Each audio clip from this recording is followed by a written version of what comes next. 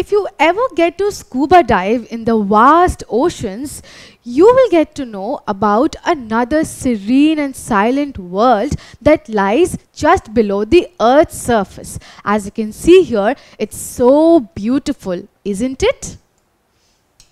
Now, so just like we live on earth, similarly there are creatures and plants that live within the oceans and that is called the marine life. Therefore, marine life in the oceans, seas and lakes include the animals, the different creatures that live within the water and the plants as you can see here, right? Now, the ocean connects the continents. So we know that besides roads and railways, we have the sea routes and ocean routes that help us connect to different continents, right? Also, the presence of water on earth makes it a very unique planet, right? So, almost 71% of the earth's surface is covered with ocean water, right? Now, so can you help me answer this question? What makes the earth so unique? The presence of food or the presence of water?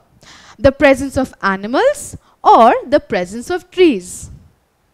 Yes, it is the presence of water that makes the earth a unique planet. Now there's a secret to how the oceans were formed, right?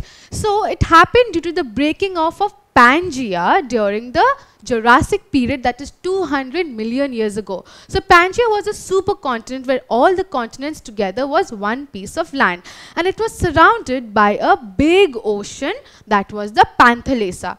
Eventually due to many tectonic movements these got divided and formed different oceans. Right. So what do you see here in this picture? Say for example, you happen to be in this particular ship on this big water body, on this big ocean and somehow there is no more drinking water in your ship. Now what do you do? Now since there is so much water around you, you can easily have it, right? No, you cannot because all this water is saline okay? There's a lot of salt in this water so it's not drinkable. So as you can see here it is very ironic as there's water everywhere but there's not a drop to drink right? So this is only because of the saline nature of the oceans and water bodies so what exactly is the reason behind the salinity of the water bodies like the oceans and seas? Basically, these have a mixture of 96.5% of water along with 3.5% of salts. Now these salts again constitute different components like sulfate, magnesium, calcium, potassium and other dissolved components, right? This is what makes the water saline in nature. So as we know that about 70% of the earth's surface is covered with ocean water, right? And it is divided into five parts, right? As you can see here, it's 1, 2, 3, 4, 5 and they are divided according to their sizes. So the first ocean is, that is this, Pacific. Then we have the Atlantic Ocean. Then we have the Indian Ocean. Then we have the Southern Ocean. And at last we have the Arctic Ocean. So now let's learn about the first and the largest ocean of the world. And that is the Pacific Ocean. Now where exactly is the Pacific Ocean? Let's locate it. So as you can see here, this is Earth. Now, if we zoom in, we have the North Pacific Ocean and if we go a little down, we have the South Pacific Ocean, right? Right here. So now, if we zoom out again, and we go to the right side of the Pacific Ocean. What do we see? We see the North America and the South America. So now we know that on the eastern side or the right side of the Pacific Ocean, we have North America and South America. Now on going towards the leftward side or the western side of the Pacific Ocean, what do we have? Well, let's see. So on going to the left side, we have the largest continent of the world and that is Asia, right? And right towards the southwestern side, we have Australia. So this is how we locate Pacific Ocean. So now we know that on the right side we have North America and South America while on the left side we have Asia and Australia, right?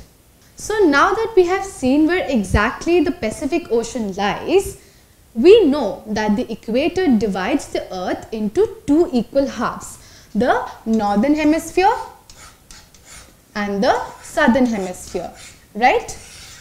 So at the same time, it also divides the Pacific Ocean into the North Pacific Ocean and the South Pacific Ocean. So now that we know that the Pacific Ocean is the largest ocean of the world, there are certain interesting facts that we need to remember. So let's take a look at them individually, right? So talking about the first point, airplanes usually do not fly over the Pacific Ocean. Why is it so? So take for example, this is a place A and this is a place B, right? And I ask you to travel to this place with two routes. Both will lead you from A to B. Now you tell me which will be shorter. Obviously, this one will be shorter than this one because it is straight while this is curved which will take you a longer time. But if you compare these two maps that is showing you a world map, what do you see? The airplane is crossing over the Pacific Ocean. Now you tell me which will take a shorter time. You may tell me that this will take a shorter time as you can see but in reality this is not the case. Why is it so? Well, we know that the maps are two dimensional and it can be misleading as we don't have the exact shape of the earth on maps right while in reality the earth is three dimensional it is spherical in shape so if the planes cross over such large oceans it will take a very very long time. And it is usually advised to take curved coast of the continents. That will take them a shorter time. And we also know that since the Pacific Ocean is the largest ocean, if there is an emergency. and the plane has to land immediately. Now since this is a vast ocean, it will be very difficult for the pilots to decide where to land, right? So it is usually not advised to take this route, right?